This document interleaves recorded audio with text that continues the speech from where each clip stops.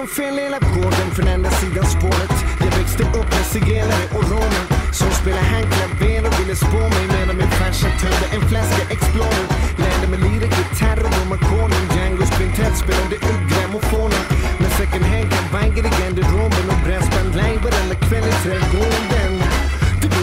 sen kom problemen Träffade tidigt i klaveret och skattesedel menar skyldigheter Myndigheter. Sannolikheten är lite närmare förmedlingen med yeah. Man kanske borde byta namn eller Sälja sin husvagn eller Knacka ut sin guldtand. Men någon gång måste fördomen hinnas ikapp yeah. Du kan kalla mig utanför för att jag inte gjorde som de andra gjorde när de gjorde som de gjorde förr. Ursäkta om jag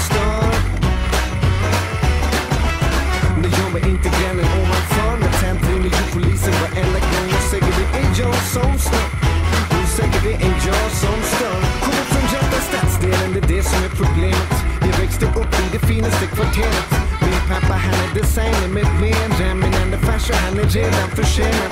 Kjell var barn och adopterad. Så skolgången blev lite svårt komplicerad.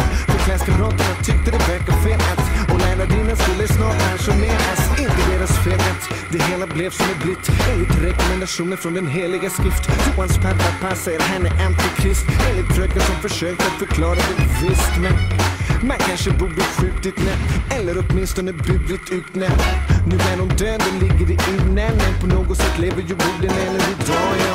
Du kan kalla mig utanför För att jag inte gjorde som de annan gjorde När de gjorde som de gjorde förr. Ursäkta om jag stör men jag är inte grannen ovanför Med tänt ringer ju polisen. Varenda gång och säger det är jag som stör. Hon säger det är jag som stör. Husefriden eller dylikt Har knappt någon tid att lyssna på din kritik. Inte lycklig men ganska så lycklig. Så tänd till mig en chans att lyssna på min musik. Men nej, ta inte sedan inte kommer. Om skeden är av silver så ta ingen den när jag kommer har de sagt så många gånger Så tack men nej tack, jag hittar till utgången. Du kan kalla mig utanför För att jag inte gjorde som en annan gjorde När de gjorde som de gjorde förr. Ursäkta om jag stör. Det gör mig inte grannen ovanför men tänt ringer ju polisen varenda gång och säger det är jag som stör. Hon säger det är jag som stör.